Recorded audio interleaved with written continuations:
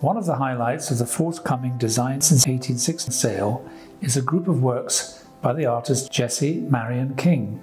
Jessie King studied and taught alongside Charles Rennie Mackintosh, and her work was influenced by Art Nouveau and the developing Glasgow style.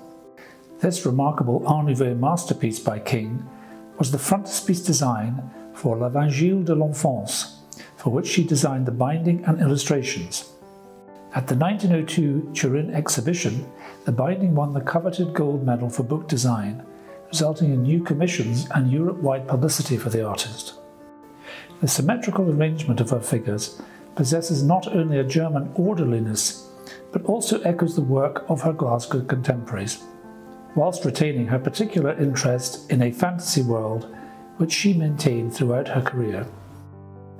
Another example of Jessie King's bookbinding skills, and almost contemporaneous with L'Evangile de l'Enfance, is a rare copy of Rosalind, number 20 of 30 copies, bound in Vellucent vellum by Chivers of Bath circa 1902. Later in her career, Jessie King and her husband, Ernest Archibald Taylor, settled in Kirkcudbright in southwest Scotland. Here, Jessie King painted, produced batik textiles, and decorated brightly coloured ceramics, which she sold in the town. We are delighted to offer an archive of letters, photographs, and memorabilia from this period in the sale.